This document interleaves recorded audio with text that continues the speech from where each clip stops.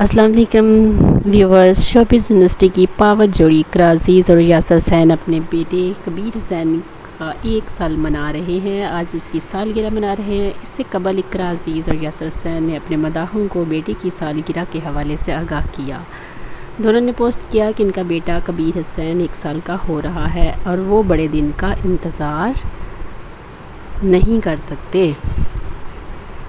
आज जोड़ी ने अपने बेटे की सुबह खूबसूरत और दिल को छू, छूने वाली ख्वाहिशात के साथ की है। ना सिर्फ़ इकरा और यासर, बल्कि अदाकारों के करीबी ख़ानदान और दोस्त भी प्यारे कबीर हसैन के लिए दिल की गहराइयों से नए ख्वाहिशात भेज रहे हैं।